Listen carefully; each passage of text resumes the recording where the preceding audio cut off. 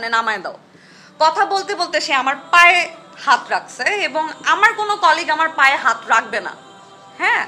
আসসালামু আলাইকুম। যারা আমার জীবনে এসেছে, তারাই ব্লেম গেম খেলেছে। বললেন পবা। আর এই নিউজটি প্রকাশিত হয়েছে R TV news online news পোর্টালে। টিভি নাটকের জনপ্রিয় মডেল ও অভিনেত্রী সাদিয়া জাহান পবা। নিজের অভিনয়ের নৈপুণ্যতায় খুব অল্প সময়ের মধ্যে জায়গা করে নিয়েছিলেন দর্শক হৃদয়ে। তবে মাঝে অভিনেত্রীর ব্যক্তিগত জীবনের পাশ হওয়া ভিডিও স্ক্যান্ডাল নিয়ে যথেষ্ট খেসারত দিতে হয়েছে পবাকে। তবে মানসিকভাবে শক্ত থাকার কারণে সব পরিস্থিতি সামলে আবার ফিরে এসেছেন স্বাভাবিক জীবনে। বর্তমানে অভিনয়ে নিয়মিত হয়েছেন পবা। শনিবার অভিনয় শিল্পী সংঘ আয়োজিত এক সংবাদ সম্মেলনে নিজের জীবনের নানা বিষয় নিয়ে মন খুলে কথা বললেন এই অভিনেত্রী। এ সময় তিনি বলেছেন, যারাই তার জীবনে এসেছে, তারাই চলে যাওয়ার সময় তার সঙ্গে ব্লেম গেম খেলেছে। পবা বলেন এক একজনের গল্পে এক এক রকম। আমার গল্পটা হচ্ছে, ছোটবেলায় ভয় লাগতো যে, পরে গিয়ে ব্যথা পেয়েছি, আম্মু জানলে মারবে।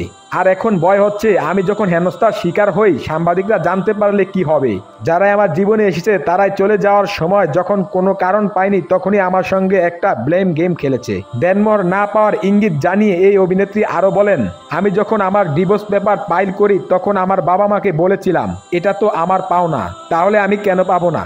এটা তো আমার সঙ্গে ঠিক হচ্ছে না।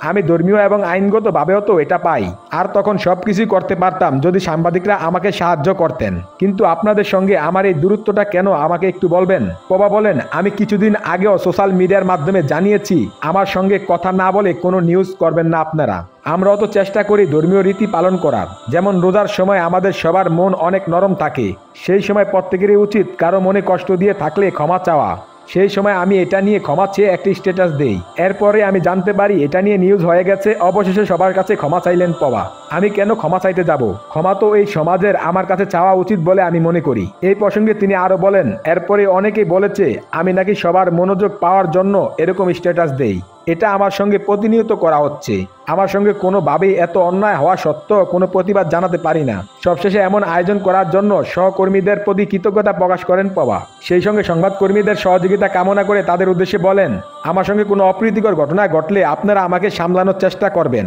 প্রটেস্ট করবেন। আমাকে কেন ভয় পেতে হবে? আমি তো ভয় পাবো না, কারণ আমি জানি যে আমার সঙ্গে আমার ভাইয়েরা আছেন, তারাই আমাকে দেখে রাখবে। আর আমার সঙ্গে সাংবাদিকদের অনেক দূরত্ব তৈরি হয়েছে। আমি চাই সেই সম্পর্কটা সুন্দর থাকুক। আমার আগামী চলার পথটা যেন আমি নির্ভয়ে আপনাদের সঙ্গে চলতে পারি। ওই সংবাদ সম্মেলনে পবা ছাড়া আরও উপস্থিত ছিলেন শিল্পী সংঘের সভাপতি আহসান হাবিব নাসিম, আইন ও প্রকাশনা সম্পাদক উর্মিলা চাবন্তী কর সাংগঠনিক সম্পাদক সাজু খাদেম, অভিনেত্রী ডলি জোহর, অভিনেত্রী তনিমা হামিদ, মৌসুমী হামিদ সহ অনেকে।